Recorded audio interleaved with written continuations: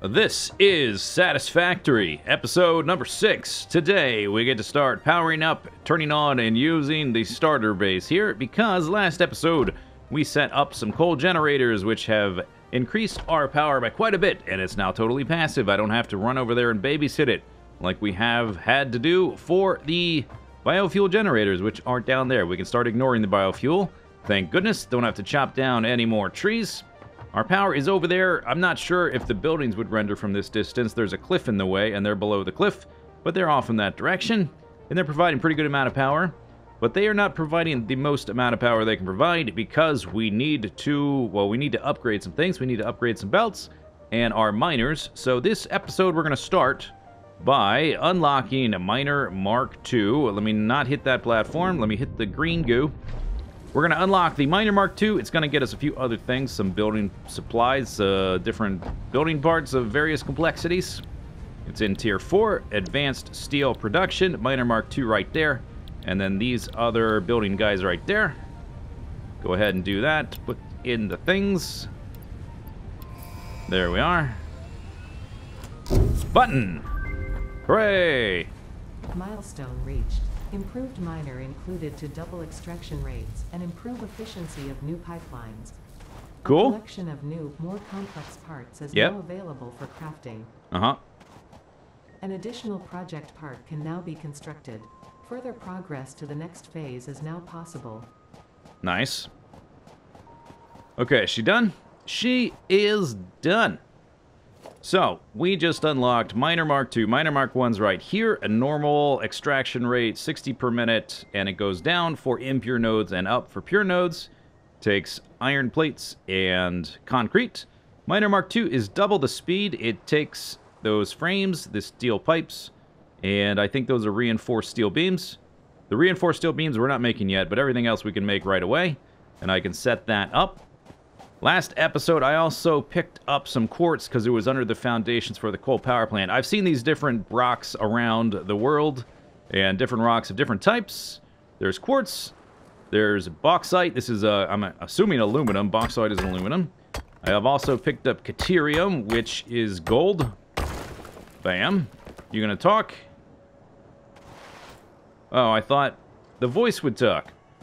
Well, anyway, I wanted to see if there was a research tree for that. Maybe that's just uh, a default unlock in tier 5 or 6 or 7 or whatever. Here's more Caterium.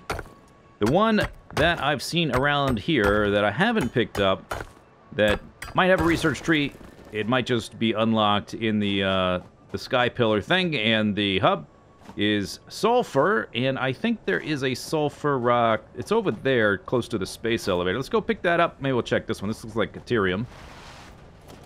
Caterium. Yeah, here it is. All right. Research tree or no? Data shows this Oh, is a mix yep. of sulfide and sulfate minerals. Okay. It could be an indication of recent volcanic activity. A new research tree exploring volatile self-defense applications can now be accessed in the MAM. Cool. Okay, so I stored some of them here. Let me take those out. Let's take a look at the MAM. We have a sulfur tree, a quartz tree, a caterium tree. Oh, wow. Okay, I wasn't expecting that. And three seconds. All right, if it's only three seconds, let's do that now. Okay. The analysis complete. Please choose a new node. Research finished. New resource added to the resource scanner. Oh. Caterium. Cool. I don't think we need that yet, but that's interesting that we get the resource scanner edition like that. Oh, there is some. 600, five, 600 meters that way. Eight something that way. All right, that's cool. What's the next thing say? Caterium ingot. Three seconds. All right, we get new technologies. Okay, so that's going to be an alternative to copper for probably some higher tech computery stuff. There's the quick wire. Three seconds. Oh, we have to use the ingots for that. All right, fine. So let's take a look at the quartz. Are you three seconds? You are. Very nice. Okay, complete. Yes. Can we scan for it? Yes, we can. Awesome. Raw quartz. I'm gonna guess that raw quartz is pretty rare. I think I've maybe seen a quartz node once or twice, and that's it. Okay, so probably none in range. Oh, never mind. I take that back. 1,300 meters over there. And 1,300 in that direction. Okay, so there is some. Not too far away. Closer than the coal we're using anyway, the for the power. Let's see, that was quartz. All right, next we get what? Quartz crystal or silica. And I don't have enough quartz to do both of these. Let's see this so I reveal the next section of the tree. Bam, done. Oh, that, a new thing we can make. Crystal oscillator, which takes that quartz, whatever, quartz crystal, and uh, reinforced plates. Okay, that's cool. Let's see, we did caterium. I need to make ingots for the rest. Let's look at sulfur. I've only got 15 of that. I only found one of those. I found multiple of the others. Uh-huh. Can we scan for sulfur? I'm gonna guess. Yes. Black powder. Oh, that's fun. Coal and sulfur. I need 25 and 50. Alright, is there any sulfur nearby?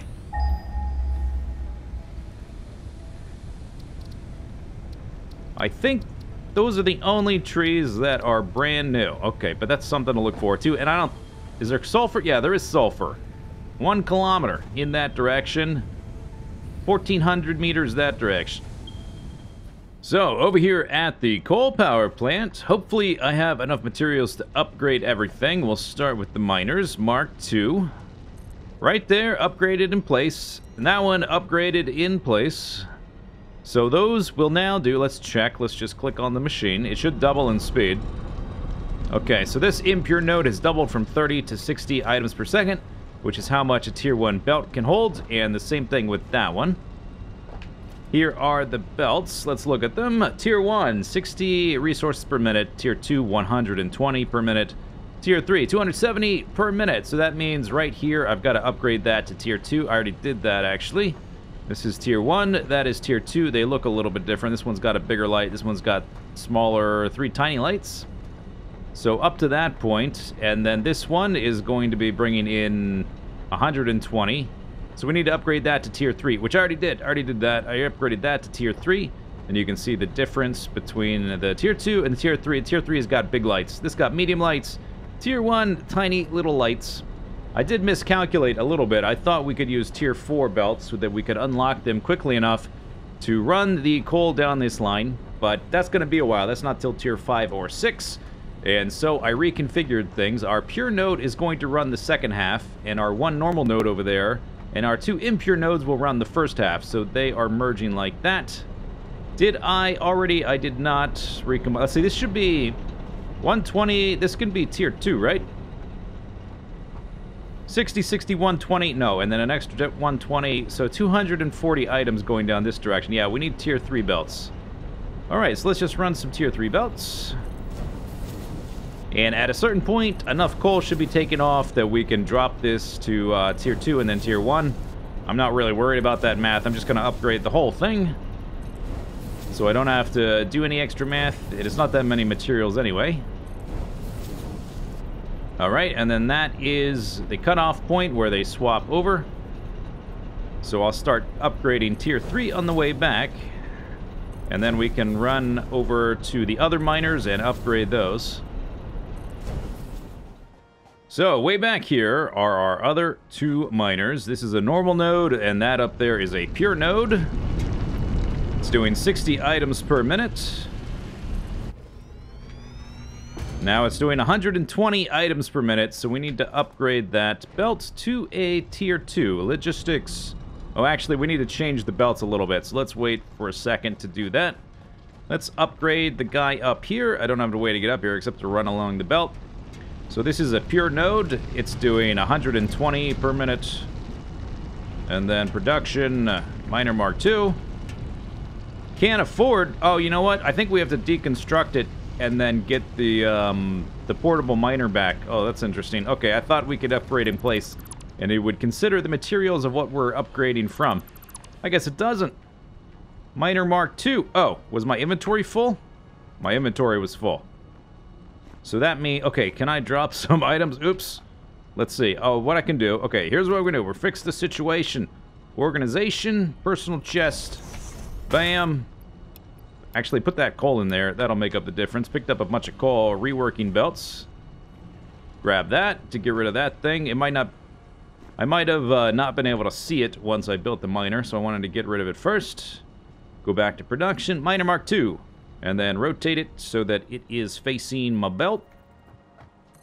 Like that.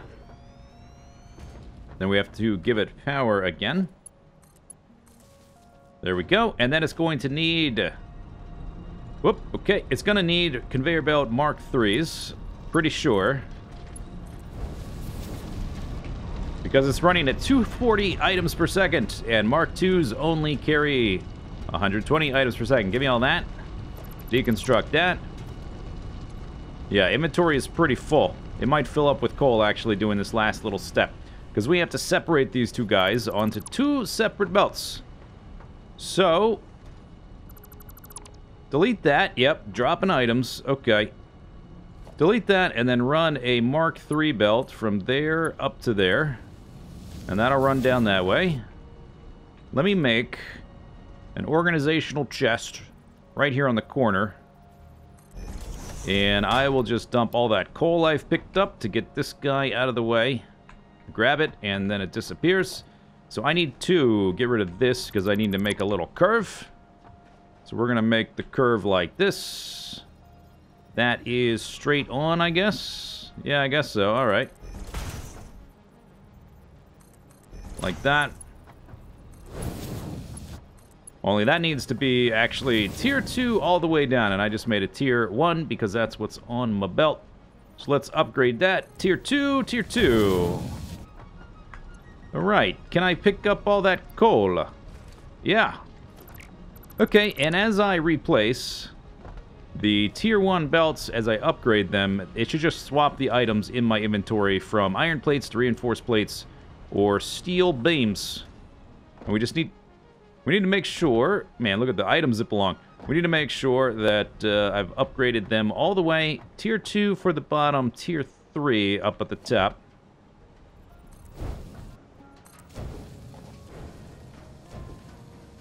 Alright, I think that looks good. Just a little bit left here to upgrade to go up to the new section. Let me hop off here so I can see. Need to upgrade that, that, that, and that little bit right there. Okay, that should all be tier 3. This should all be tier 2. I think I did all of it running down around under there. So this is the normal node. It's going to go there with the two impure nodes and run the half of our coal generators on that side. And then the pure node is going to run on its own the first half. Back at the base, I've set up some miner Mark IIs on some unused ore patches around the area so we can get this space up and running before we have to decommission this so we can keep making more stuff to make more base until this thing is self-sufficient. So there is an iron patch right there with a Mark II miner and that's going in right there for steel ingots. There is a iron patch out there, and that's going all the way down here and around and into there for iron ingots.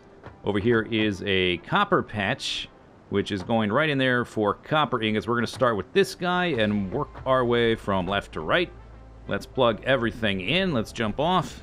I did add up all the machines that I have built up here so far, and based on the display, what they say they draw as far as power is concerned, once we plug it in, and once everything is actually working simultaneously, this building at the moment is going to draw 600, no, 465, 465 additional megawatts of power for our base. We're currently consuming somewhere between 2 to 400 based on demand because these machines sometimes go idle. And we have 2 gigawatts of capacity left over, so should be fine. Should have plenty of power. Let's plug all that in. And let's plug in our copper miner. That is a normal node with a tier 2 miner, so 120 items per minute. This is a tier 3 belt, and we do need to fill the belt. 270 ore per minute is what we want to fuel all these smelters. Once we've confirmed everything works, we can add more copper sources to fill the belt so that the base runs at capacity. All right, here comes the ore, splitting in nine and hitting all these smelters. I keep wanting to call them foundries. The foundries are just for the steel. And then they go down the line, they merge, and then they go around this corner and they hit this lift. Tier 3 lift. So the lift comes out right here, and then it gets split into, and half stays on this floor for copper sheets in these machines. That line goes down there, and it hits this conveyor lift. It goes down, and then it gets split multiple times so that it hits all the machines, and then they will make the copper sheets, which we need for pipes and that kind of stuff. And that will all go down there to the next destination. The other half of the copper ingots get split, and they go up a lift to the next floor, which ends up right here. Then they get split again, and they go down either side of this production line to make wire. You can see the wire coming out of the machines here. Let's look at how they're split. It's kind of the similar thing we've been doing. We are splitting in multiples of two or three so that we get the most bang for our buck from our splitters. They go down there, they get split, they hit the splitter, they get split, they go in the machines, and they make the wire. Then the output all merges down through the middle and heads off to the next area. The wire is mostly getting used to make cable after this point. And there it goes. It hits a splitter, and then it basically goes down either side of the wire layout, and it does the same thing. Gets split to go to all machines evenly, and then it gets merged down the middle and reaches this point to this configuration of splitters and mergers here. This row is splitters, and then that row there is mergers. This is a overflow doohickey thingy. I don't know the official name, but basically what it does, you have a main input. This is from our production line. You have a main output right there, and then you have an overflow output over there. So most of our materials is going to end up going through here, but it is currently backed up because this belt doesn't go anywhere yet. And so the configuration is outputting over right here. I'll show you. This is the overflow output. This will go to storage so that we can grab things to continue building. And I have a similar layout for all the different production lines. This is basically how it works. Main input goes to this first splitter and it gets split in half. Half of the total output from all of our cable producers hits this merger and goes this way. The other half hits this splitter and then it repeats the process. So 25% hits this merger, combines with that 50%. So now we've got 75% of all of our output going to this guy. And then the rest goes to another pair, and then it gets split again. So 25% gets split into 12.5% and 12.5%. This 12.5% merges with the 25 and the 50, so now we got 87%. It's just basic fractions, basically. We're splitting and merging, and all of the merges go that way, and all the splitters go that way. The more pairs we add, the higher percentage of items end up in the main output, and the lower percentage of items end up in the overflow. As long as uh, that belt isn't backed up, it is not backed up, or it is backed up right now, so this belt is full as well. But basically, with this current configuration, we've got 50, 75, 87, 96% of our stuff is going to that main output, and the remaining 4% is going to go to storage, basically, for me, to this overflow output. And if we add another pair, I do have room to add another pair, it would go to 98%, and another pair after that would go to 99%, and you can do that as much as you want for diminishing returns. And as we make a bigger and bigger base, that may become important. I think for this base, four or five splitter merger pairs probably going to be fine. Actually, my mental math was off a little bit in that last clip. We don't end up with 96% of items to the main output with the four pairs of splitters and mergers as illustrated. We end up with 93.75%. I know you're all very outraged, and you were furiously typing comments correcting me with my minor miscalculation.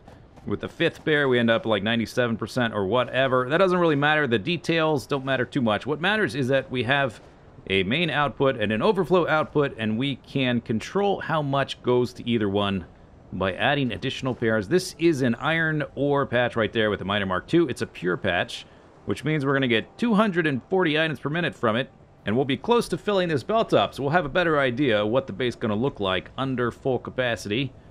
And here comes the iron ore into the building. This layout is more or less a duplicate of the copper ore right there. The only difference is the ingots go over the copper merger line right there.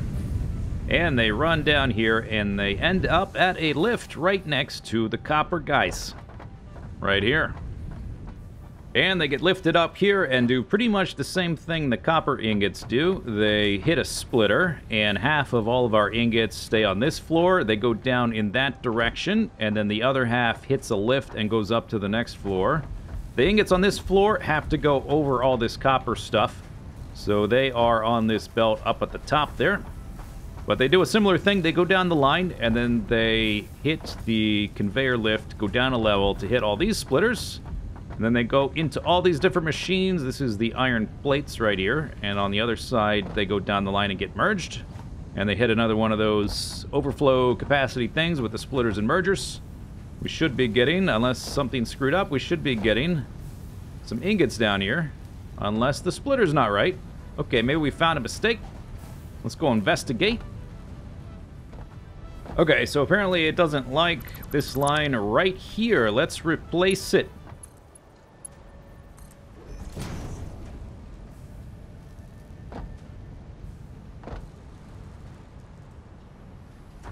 Alright, that seems to be working. I'm not sure what the issue was, but I fixed it. Anyway, that's all the iron plates down there. This guy goes up. I can't quite jump. That guy goes up to the next floor.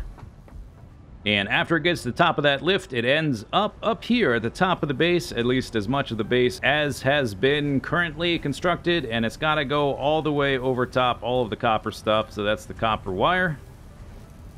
And then that's the cable right there. Once it gets past the copper stuff, it gets split in half and it goes down to these machines to make the iron rods. The iron rods, after that point, get turned into screws.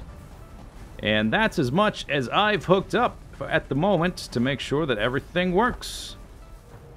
So for the next part of the build, we actually need to unlock some new parts, or buy them, I guess, whatever, from the Awesome Shop. So we need to feed some items into the Awesome Sink. Most complicated things I have are smart plating and modular frames.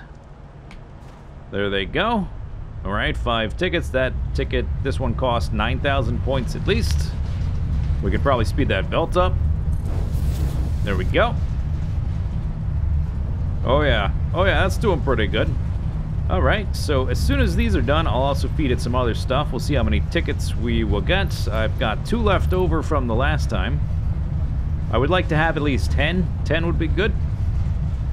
Just let this run out. That's almost done. And then I will just give it some random stuff. I guess uh, I can give it a stack of rotors. There's the last of that. Alright, let's give it a stack of rotors. Let's give it some reinforced platings. And maybe that'll be enough. Already we've got 10 tickets, and I've got two there. All right, that's probably enough for now. We can come back later. All right. So, from the awesome shop, I need a few things. First thing I need, the most important thing that I need right now are walkways. So let's put that in our cart. I've got six tickets left after that. I think I want these, the uh, the power poles that attach to the walls. Put that on the cart. And then maybe we'll go with door walls. Yeah, let's do door walls. So, checking out. Here we go. Buy all. Bam! Did it. So, with our nice, shiny new walkway blueprints, we are going to replace this long, thin strip of foundations with those walkways. It's going to be our viewing platform and also our storage area where we pick up building supplies. We'll have a railing here so we can look out over the waterfall. No walls, no windows, nothing like that. Just an open, unbroken view along the entire strip here. And then no railing on this side because we're going to use the walkway ramps to make a nice angled roof, which will help break up the boxiness that factories tend to end up having in this game. A lot of people make really boxy factories, and I would like to avoid that. There is a problem, though. When I was thinking about how to design this base, uh, I was not thinking about what would happen when we turn the machines on and all the pollution. I thought it would be fine being right above these smelters, but turns out there's a lot of smoke, which is kind of ruining the view for me. And so, what I think I'm going to do, and I'm kind of dreading it, but what I think I need to do I need to take all those smelters and I need to drop them one entire foundation, including all the belts and all that stuff.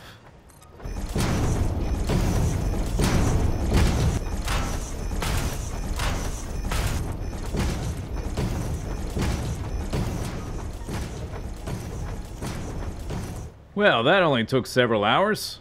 Was it worth it?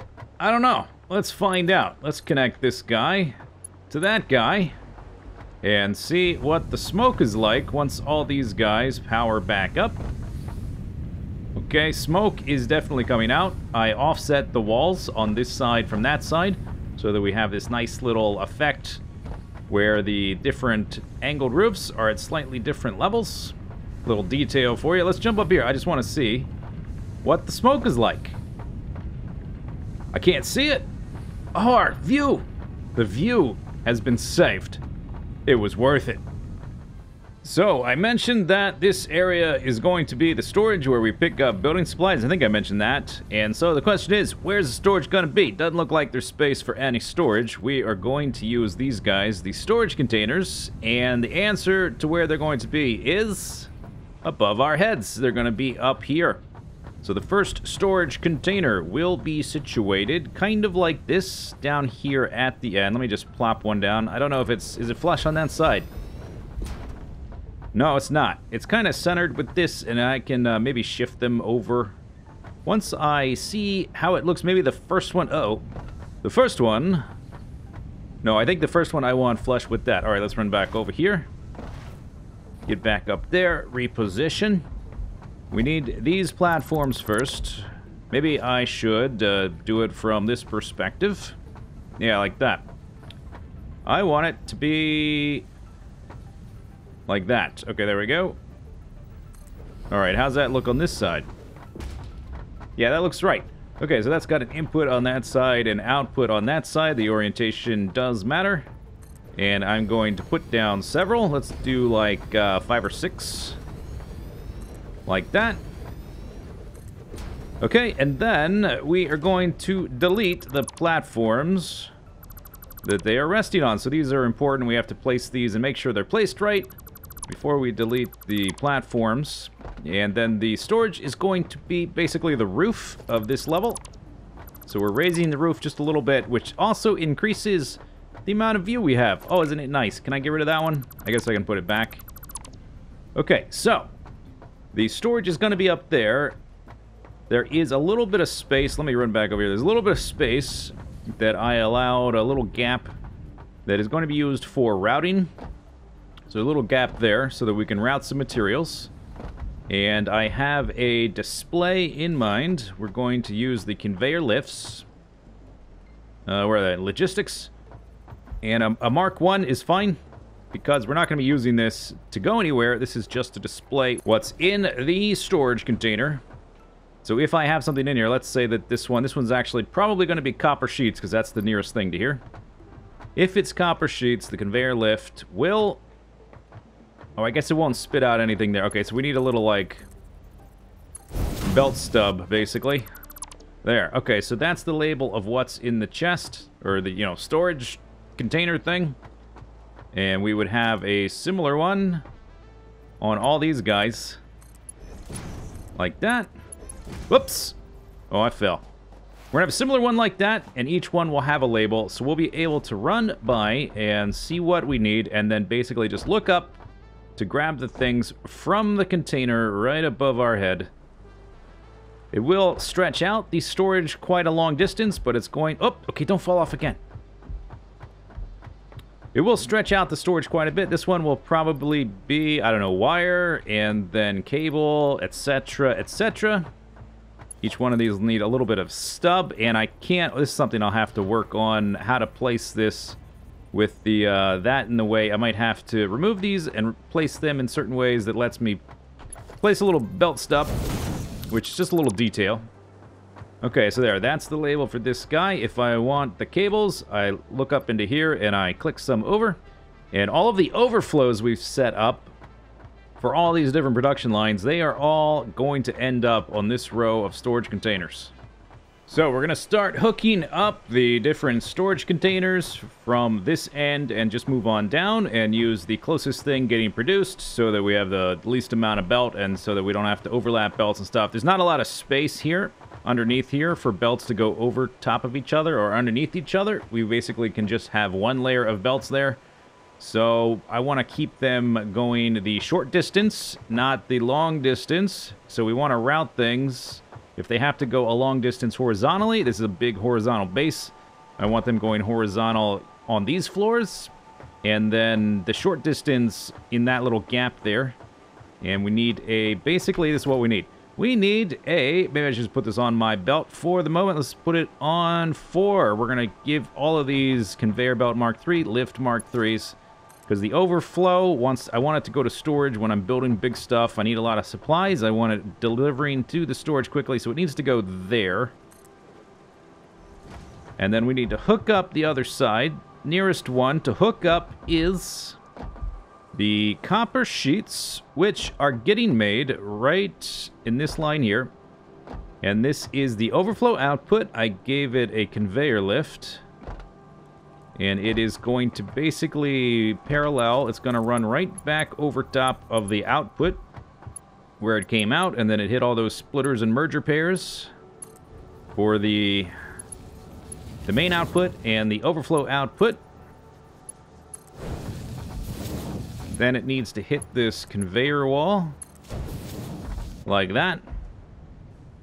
And then we need to you can see that these guys don't exactly line up with the middle of each of the tiles. The tiles are a little bit wider than the storage containers, and the conveyor gaps or whatever the holes in these walls, they're only in the center or in these certain spots.